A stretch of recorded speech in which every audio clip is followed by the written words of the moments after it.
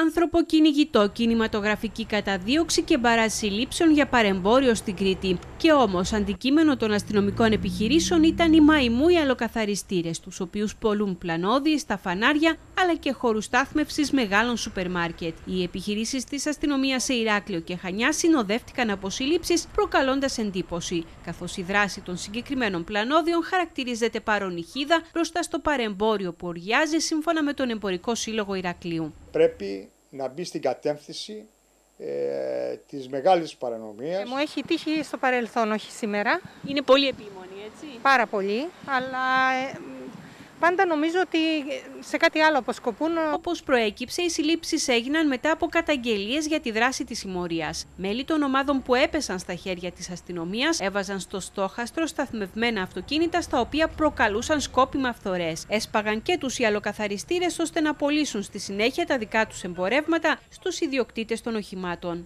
Ακριβώς αυτό, ότι πάνε και κλέβουν τις uh, και γι' αυτό τους πουλάνε μετά σε εμάς. Το παρανεμπόριο είναι σε πλήρη έξαρση και η παραοικονομία είναι σε πλήρη έξαρση. Ζητούμε από τους συλλεκτικούς μηχανισμούς να, ε, αν θέλετε, να διευρύνουν την δραστηριότητά τους.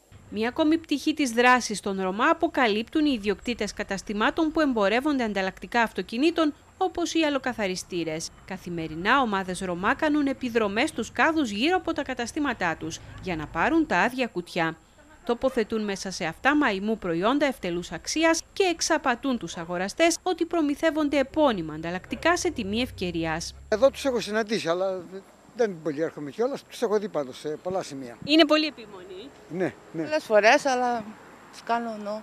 Ευχαριστώ πάρα πολύ, δεν θα πάρω. Είναι επίμονη πάντως. Ε, καμιά φορά ναι. Είναι κάποιοι που είναι πολύ επίμονοι. Άλλοι είναι εντάξει, λένε εντάξει, δεν θες. Να σκεφτεί με κάτι πρέπει να ασχοληθούν, κάτι πρέπει να δείξουν. Κάτι πρέπει να αυτή είναι η εύκολη λύση.